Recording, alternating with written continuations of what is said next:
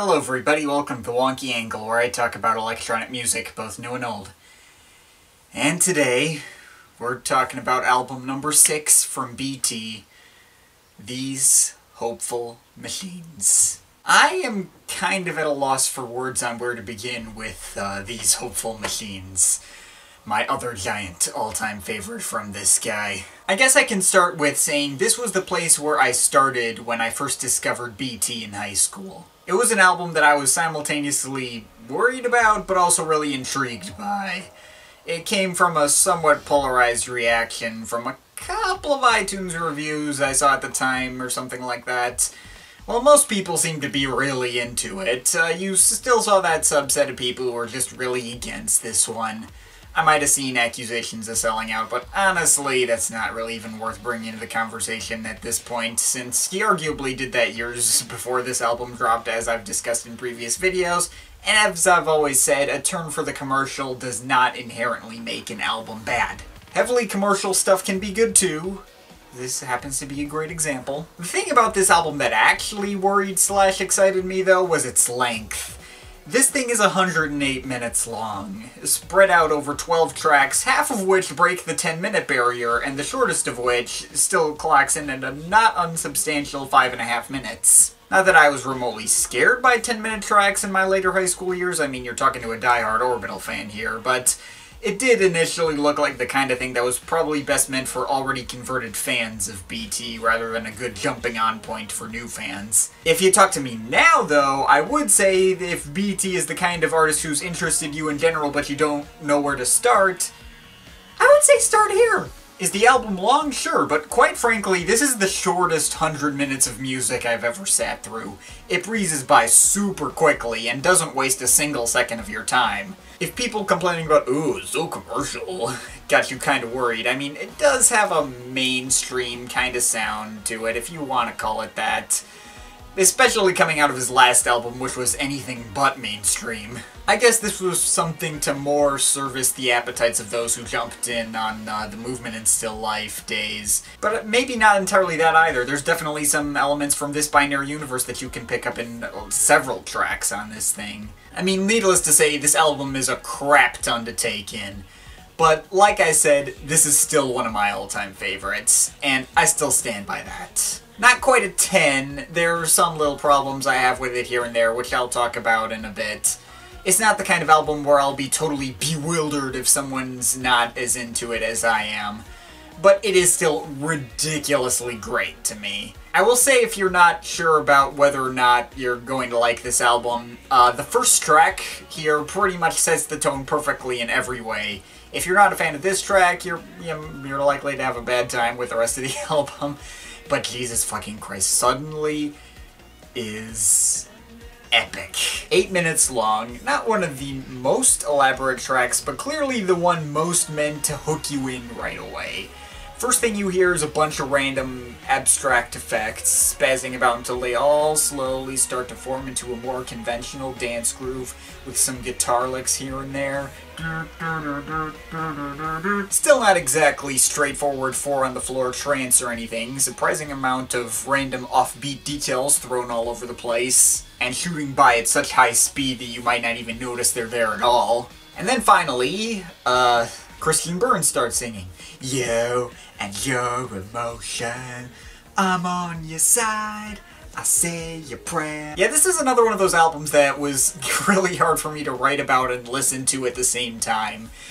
Or heck, analyzing most of these with a critical eye has been pretty damn hard because all the vocal hooks on this album are just way too easy for me to get into and sing along with, and that takes up most of my attention over anything that might be in the background. Every melody on this album is catchy and really easily memorable. I can easily play any hook from this album in my head without actually listening to it. Oh, and the singer's delivery is always amazing, too everyone is totally getting into their performances and delivering a lot of emotional pathos, unlike a lot of the performances on emotional technology. And suddenly, Christian Burns is just completely on top of his game. He is just totally selling it. And I love it when you fall to me suddenly. That is totally off key. Oh yeah, I forgot to mention the chorus has a switch up into a more rock-heavy sound with rough guitars and live drumming from KJ Sawka of Pendulum fame. And there's this badass outro where BT just goes absolutely nuts with the effects. Almost resembles a dubstep drop if you look at it sideways or something, or only heard some wubbing synth in one ear at a point or two. But it is just totally off the chain, and BT has so many synth effects and stutter, and it is just a mind-blowingly dense storm of sound design. Until it finally just breaks free from the madness and then slowly gets quieter. Not, not a straight fade out, just getting quieter. And it smoothly transitions into this ambient section and starts out the next track. Oh yeah, the album is two continuous mixes, because why not? It's not the kind of super tight mix where you can't tell when tracks begin or end. The transitions are pretty obvious, but it's just that little touch to help bring everything together. So yeah, Suddenly is definitely an opener that grabs your attention, lets you know what you're getting into with this album, makes sure to totally make use of every single second of time and makes 8 minutes feel like 3. But then there's The Emergency, featuring a co-production from Andrew Bayer and Boom Jinx. A 10 minute track that feels like it goes by in like two minutes or something. This is one of my favorite BT tracks ever. It's, I think it's on par with Good Morning Kaya, even without the advantage of my having known this one longer. It is primarily a pretty straightforward vocal pop trance kind of track, with clean and polished and smooth synth textures that wouldn't feel out of place on, say, Deadmau5 random album title, but with way more bells and whistles than anything on there. I mean, there's a minute and a half intro. First you got like 30 seconds of ambience with like little shifting and chiming electric piano chords way in the background, creating a really expansive space and texture.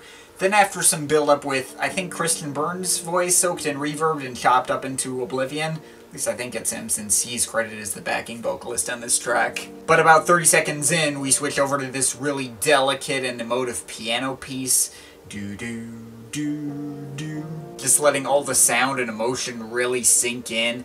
And it slowly builds up into the main bulk of the track, with vocals delivered by, of course, BT himself. Obviously far from his first vocal performance, but we've really come a long way from his below-average performances on ESCM. I think this track has his best vocal performance to date, too either this or Satellite, but here he shows a bit more range and control over his voice. He hits some higher notes too. Also, like Satellite, uh, the lyrics are emphatically not the focus.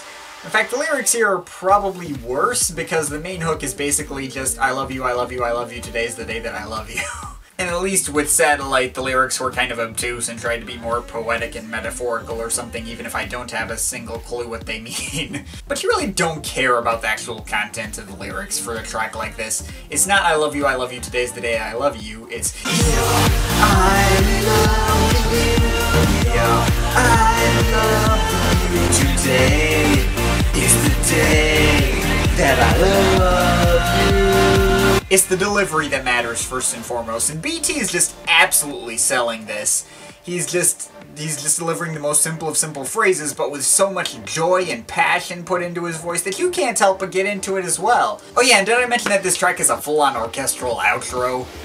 Yeah, after the bulk of the emergency is passed, there's a nice long pad of orchestral strings to close out everything and really cement all the strong emotions put into this track. It's really powerful stuff. Just fills me with all these warm, fuzzy feelings like I want to go around hugging people or something. Even though I don't typically like that.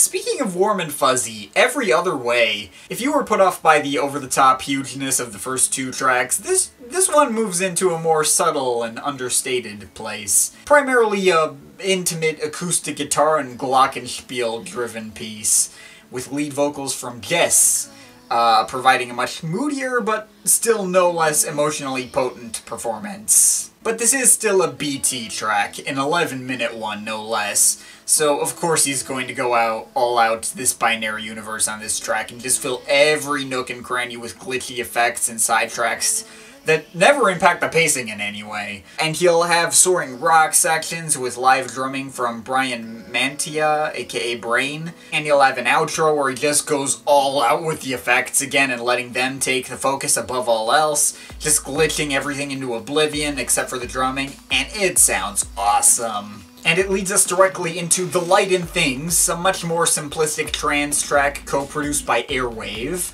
Uh, well, at least simplistic by the standards of this album. It's about as simplistic as something like Dreaming from Movement and Still Life. It doesn't have multiple parts or major side tracks, it's just based around mostly straightforward dance grooves and Jess's airy vocal performance, sometimes chopped up and covered in reverb. Not a ton to say about it, but it accomplishes everything you'd want out of a straight trance like this, and it delivers its hook magnificently. I see the light and things. I watch the world go by. Rose of Jericho, actually the lead single from this album, one of is one of two instrumentals on this thing. And uh, BT is of course not going to disappoint in that department. It's mostly centered around pretty straightforward dance grooves, but with lots of plunky and jumpy synth melodies, boop, boop, beep, boop, beep, and an absolutely vast sea of glitches and tiny details. Also featuring uh, help from the then newcomer producer Matt Lange, adding even more detail and glitchiness to the mix. Bet we're never gonna hear about that guy ever again after this, right? But yeah, as strange sounding as it may be, is surprisingly pretty dang catchy. The main melody may jump all over the place, but it sticks in the head. Always nice to have some variety with a track like this. Or with something like Forget Me, which is primarily just a straight rock track although a lot more fast-paced or intense than anything you'd find on Emotional Technology. BT even plays most of the instruments himself, like guitar and bass and modular synth and the like, though KJ Sawka does the drums again. And it's absolutely awesome, too. Like, you really get into BT's performance once again, and the melodies are really infectious. But let's remember, life is a beautiful mistake. It's over almost way too quickly, despite being 9 minutes long.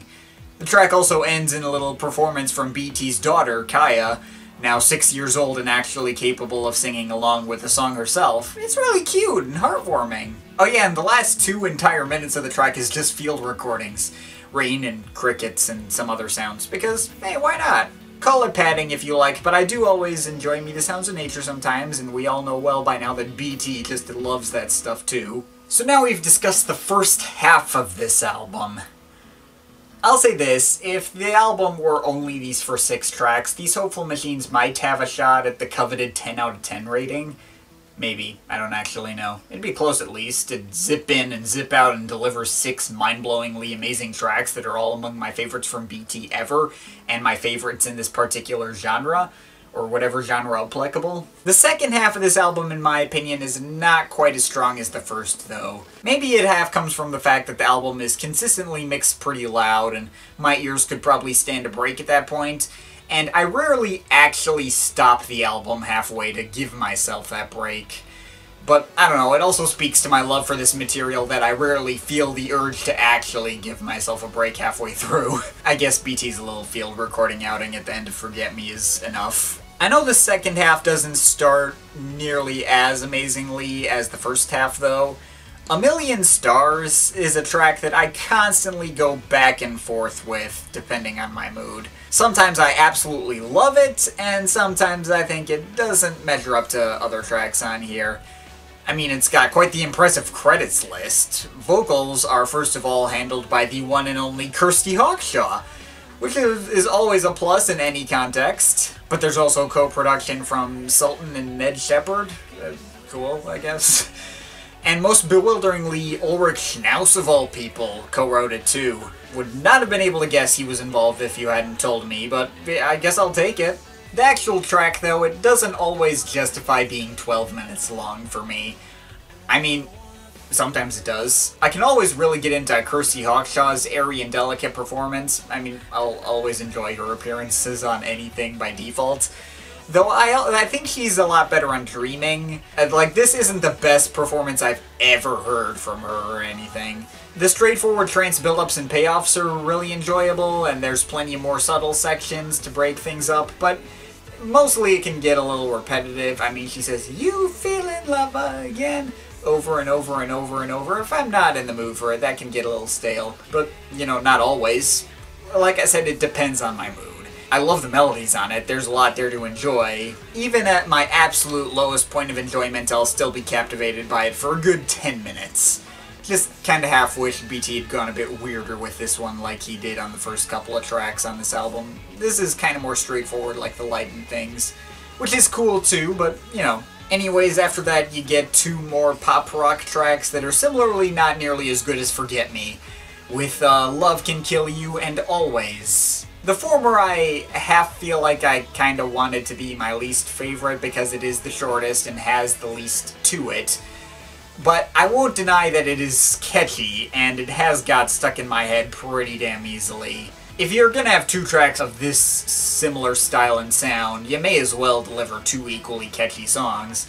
And I'll still take Love Can Kill You over Circles or Animals or The Only Constant Is Change from, from Emotional Technology. Similar feelings on Always, though I am sometimes kind of put off by the vocal presence of Rob Dickinson of Catherine Wheel fame. This late into the album and we get a new singer we haven't heard yet, and his voice sounds really different from BT and Christian Burns. His voice is a lot deeper and rougher. He sounds a lot older, too, even though I don't know if he actually is. He just kind of catches me off guard at this point, but, you know, he still delivers a pretty solid performance here, too, and again, the catchiness of the track wins out in the end. These two tracks are still both very good ones that mainly just have the disadvantage of having to share time with some of my favorite tracks ever, so, you know. Anyways, uh, I may have seemed kinda lukewarm on the second half of the album so far, but the next two tracks finally return us to the mind-blowing level that the first half delivered a lot more consistently. Le Nocturne de Lumière is the other instrumental on this album. It does sound pretty similar to Rose of Jericho, and honestly, if you asked me to hum the melody of this one, I wouldn't really be able to. Uh, the best I'd be able to do is try and hum that one bass line that carries over most of it. Mm -mm, mm but that lack of a hummable tune is purely because BT straight up doesn't give you any hook or melody that you could hum like that. It's easily the strangest and most unconventional sounding track on the album, basically a This Binary Universe type track that just so happens to have a dance beat. I mean, it starts out with a long ambient intro with lots of sparkling and chiming noises, I mean, as usual, it just has an absolute crap ton of detail and texture. There's no beat for a good minute or so, and it takes another minute for the main groove to actually kick in. Once it does, mm, there's some good stuff. You got that bass line, which makes everything really tight and danceable, while on top you have like five layers of effects just flying all over the place a bunch of plunky synth lines that resemble the ones from Rose of Jericho, but chopped up even more. And of course there are several side tracks to let dramatic, expansive pads of various chiming sounds to get more focus. There's a kalimba solo at one point too that gets combined with some glockenspiels and guitars and similar sounds you'd find all over his last album, especially on tracks like 1.618. And all these elements get worked into the core groove as well to amp up their effect. There's a part where the tempo sounds like it's slowing down to give way to an ambient pad, but then just picks right back up where it left off. And it ends with a whole bunch of just violin sounds, both plucked and bowed, along with some weird animal noise. This is just a track that has so much substance and strangeness in it. It's the kind of thing I most like seeing out of BT, because he clearly is having so much fun with every second of this. And then there's The Unbreakable, which features Rob Dickinson's vocals again on a slightly less catchier track, but with a much more emotionally evocative and dynamic performance. I find him to be a much more likable presence here than I did on Always. And also doesn't hurt that uh, this track has a lot more elements going into it. It starts out with these little chiming melodies that I think are played on like a Chinese toy piano or something like that. Do, do, do, do and it slowly transitions into a more fast-paced dance track that has a tiny bit of an 80s tinge to it or something. All building up to one of the best sounding chorus sections of any song on here. It's got a lot of guitars as usual, but also space for warm ambient pads and your typical trance percussion, and the chorus is really catchy too. Even the sun and the light of the day never returns, never turns my way. ah, ah, I'm not breaking. The verses are a lot more free-flowing and let instruments slowly fade in and out and like various different kinds of guitars and synths and orchestral sounds, and as credited in the album liner notes, who knows what else. it's a ton of fun and really gets me in the feels, as it were. And finally, that leaves the ending of the album, a mostly straight acoustic guitar cover of The Ghost in You by the Psychedelic Furs. I'll admit, uh, the original Ghost in You is a song that I think is really good, but not one I have a really strong emotional connection to. And BT surprisingly makes the track sound a lot less unique than it did before. Uh, mainly because of BT's singing, he doesn't have quite a distinctive voice as Richard Butler. That said, he still delivers some strong atmosphere, the guitars are accompanied by plenty of ambient effects and other minor details in the background. He obviously loves the song, so he's able to deliver a pretty strong performance. And uh, the backing vocals from Amelia June help make the track sound more intimate as well. Like it feels like it's just the two of them sitting out on a porch or something. That's really nice. I mean, it's probably my least favorite track on the album, and it says something that I still don't really have much of anything bad to say about it. So that's every track on the album. For the people who are like, dude, what about the ghost producers? I've actually name dropped pretty much everyone in the credits already. Uh, the only other credits left are Mike DiMacchia, who does some random technical work like time correcting and vocal comps, like he does on most BT albums. Uh, you got Greg Collins, who helped BT with the mixing on Forget Me and Always, assumingly because that kind of rock track isn't fully in BT's wheelhouse. And you got the usual mastering engineer Emily Lazar, alongside another one, Joe Laporta. I presented everyone else as collaborators, though, because that's kind of what they are. And I see absolutely no reason for there to be a stigma for that kind of thing when everyone gets their due credits here and BT still does the vast majority of the work on the album. I mean, BT just shouted out Emily Lazar on Twitter the other day for being his go-to mastering engineer on pretty much everything, so that's nice. But I digress. So yeah, that's These Hopeful Machines. I'm aware this album will not be for everyone. If your biggest problem is that it's com too commercial sounding for you, I get it. Even though it's still far from the most commercial thing BT's ever done, and he indulged on any idea that came to his mind to make these tracks bigger and better and more impressive. But fine, it is commercial sounding, there's only two instrumentals. If you don't like singing in your music, you're not as likely to get into it. But I usually prefer instrumentals over vocal tracks myself. Uh, I had no problem getting into any of this. The catchiness of every track and the emotional delivery of every singer well justifies the lack of straight instrumentals, and BT is still nice enough to deliver two of those that are among his best. You could tell me that the production isn't the best in the world and is a classic case of BT contributing to the loudness war by squeezing audio at the highest peaking levels in many parts, but I'm still going to say the production here is consistently excellent. Because even if it happens to be consistently loud, there's still a definite sense of space to it. Every element has its own breathing room. Which, given the insane amount of elements that go into it, that should really be saying something. You could tell me that the lyrics are dumb, and okay, I don't have a strong comeback to that criticism, because it, it really, besides, is really not remotely about the actual words being said. I mean, I could be a smartass and ask, BT, why is today the day that I love you, and and why not, why only today and not any other day? I could ask why he has, uh, why do you have a six-year-old singing about how life is a beautiful mistake and she doesn't want to be perfect anymore? That doesn't sound like the kind of thing a six-year-old would say. I could be like, why does Rob Dickinson have such an affinity for the phrase one-horse town? You, that was really such an evocative set of words that you felt compelled to deliver it in like five different ways?